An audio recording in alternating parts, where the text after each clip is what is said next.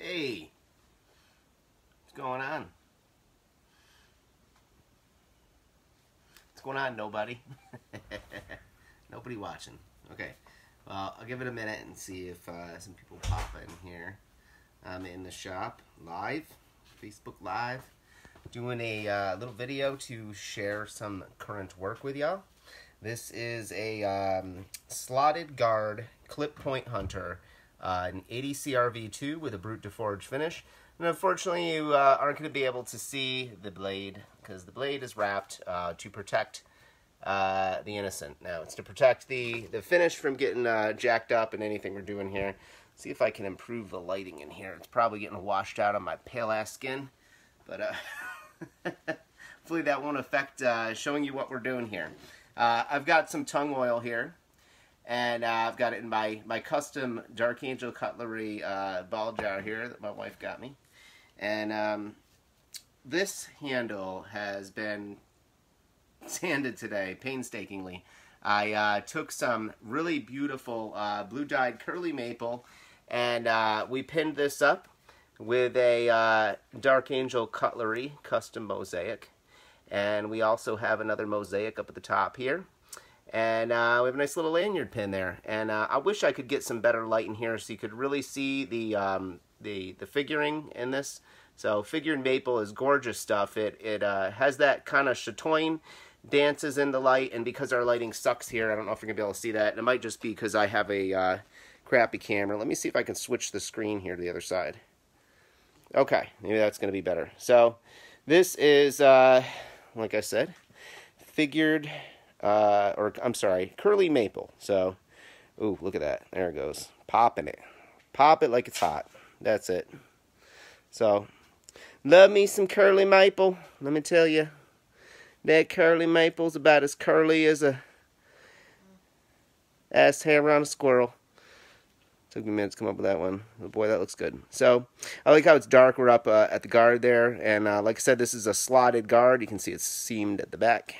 And uh, that pin has vanished into that brass. I love the brass. Uh, I've been I've been kind of had a sweet spot with the copper lately, and uh, just enjoying putting copper on knives, especially finding good handle materials that uh, that go with it well. But really feeling the brass on this one. So, like I said, clip point hunter. Uh, this is 80 CRV2 with a brute de forge finish, just over 10 inches long. It's a, if, in my opinion, a great size hunter, right about that sweet spot. You know, for me, 10 inch blade or 10 inch overall for a hunting knife is right about where I like to be. I usually go about four and three quarter with the handle and then put the rest up in that blade. A little bit of space for the guard there. But uh, I think that's quarter inch brass on the guard. So really nice. Nice piece of brass on there. So uh, very nice hunter. And uh, be available. Hey, there's my wife in here. She's got a she's got a glass of wine. Anyway, okay, so hopefully, Indri, can you tell me if I'm if I'm putting this right, if I'm in the shot at all, or the knife is in the mm -hmm. shot because I want to I want to film here and I just mess it up when I touch it. Mm -hmm.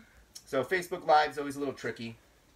We're gonna we're gonna dunk this in the in the uh, the tung oil here and really just kind of give you appreciation for the. Um, I don't know. I was back here before. That might be better. Do there. you want to be in it too?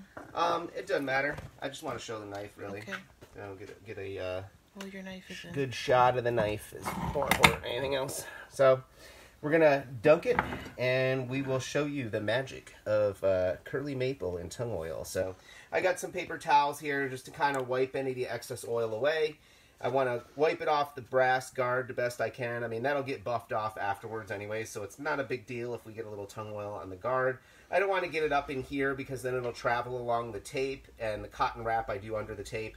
I've had it happen before where it goes under the tape and just soaks up the knife, and then you get a bunch of tung oil on your blade, and it's not the worst thing in the world, but I don't really want tung oil on my blade. That's not the not what we're planning to use. So I even got some, uh, this is not the same company that uh, the blue curly maple had come from, but this is some other curly maple that is uh, stabilized. And uh, I got this stuff off uh, eBay, also a very curly maple. Uh, it has a little, uh, some spalting lines down the down it vertically, which is really nice. But this is natural colored and uh, also some very nice scales. I think these scales uh, ran me uh, about $15 shipped, which was really just phenomenal for some really nice curly maple like that. But plain curly maple, this is um, what is it? Uh, knife scale, uh, knifescalesupply.com. These guys are pretty good. I got found them on eBay, so yeah. So we'll try those on the next one. We have another one here that uh, still hasn't had its uh, blade sanded. The flats on this one go all the way back, where the grind, uh, the bevel is ground, not full flat ground on this one. This is full flat ground all the way back, but we also put the Brute de Forge in it, and we didn't want to lose that on the spine, so I kept it. And uh, yeah, nice looking blade as well. That's a also um, clip point slotted guard. This one did not have the clip um, sharpened on the backside or a dull sharpened on the backside. This one actually has a uh, semi-sharpened clip on the back, which is really nice. So it's gonna be a great knife. Without further ado, let's let's dip this sucker. Just put a paper towel down on the table here. I want to move this file too because I don't want any hardened steel near my um, my handle, my brass, or my blade because hardened steel is hard and it will uh, it will scratch your knife. Well, not the blade itself because the blade is good hardened steel too. But I don't want to damage the handle. Oh, I put that tight. All right. Let's make some magic cap in here. Do the dunk. Now I might just leave this in here for a little bit too, just to let it, um, you know, I actually don't think I need to. This is um, stabilized wood, so and curly maple's hard as hell anyway, so leaving it uh, in this uh, tung oil really won't do much of, much of anything. So let's make it happen.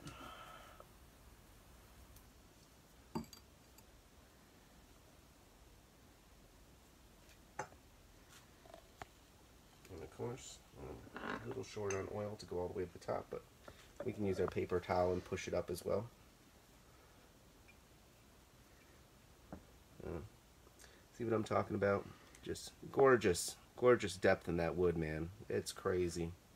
Isn't that beautiful, Andrea? Mm-hmm. I like this side too. There's a little bit of character down in the front there. See how that wood kind of has some really crazy depth to it. I mean, it's like glass. This is uh, sanded, hand sanded to a thousand grit, and then um, yeah, just kind of polished on my jeans a little bit and uh, it's like glass. It's crazy.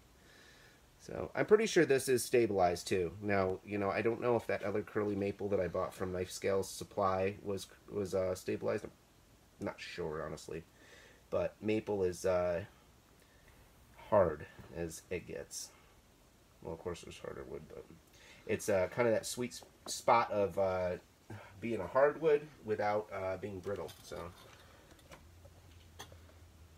let's oil right on the top of that handle material. And I just give a push with the with a paper towel and, and make sure the handles get, you know, lots of oil on there. But I'll tell you, the one side is just, uh, is sweet. It's uh, got a lot of character.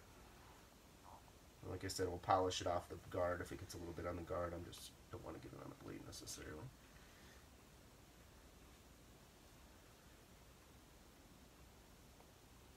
I spent a lot of time trying to hand sand the tang down on this because the uh, the tang was uh, had a couple little nicks in there uh, that really just didn't want to come out. One was a couple deep ones actually that were just really stubborn. So going back and forth with the grits, I thought I had it out and I had to go back and do it again. I didn't have it and finally got it out and was very happy with the results. So. I can almost see it faintly there, and it just agitates me. So it was on the inside of the handle too, which is can be a bugger to get out, man. I'll tell you, it's like messing around with that thing can frustrate the hell out of you. Trying to get the little finer details into your work, but you know, perfectionist I am. Just can't settle for leaving it behind. I'll probably go back and fuss with it some more even before this is done. But very, uh, very beautiful handles. I'm glad I shared this. And, uh, you know, it's like Curly Maple's uh, a beautiful wood and it's affordable. It's not like, uh, you know, some of these other, um, you know, stabilized and dyed woods you'll pay a fortune for. And uh, you can get some Curly Maple uh, without, you know, an arm and a leg. Um, so it's gorgeous stuff, man. It's crazy. So I'll go in, uh, after this tung oil dries, I'll go and buff it up um, you can even use like just a rag, a cheesecloth, or whatever, and make sure there's no little fibers from the uh, fibers from the uh, paper towels or anything. I use these Viva paper towels, and I know a few other makers like them too. They're they're absolutely uh, priceless in the shop. So, like I said, I really like right in here. There's this little bit of character in the wood that uh, I don't know. It's not. Uh, it's hard to explain. It's almost like an interruption in the pattern of the grain, and just gorgeous. So I wish I could have got that um, on the other side too. I don't know if it's just because I pitched the handles a little bit more on that side. No, I guess the handles are pretty much the same on both sides. So they're, uh, yeah, beautiful. Yeah. Nice looking wood. So that's what I got for you today. Uh, this knife's going to get a sheath uh, in the next couple days. And um, a little bit of uh, sharpening to the blade is yet to uh, happen. But uh, look for it.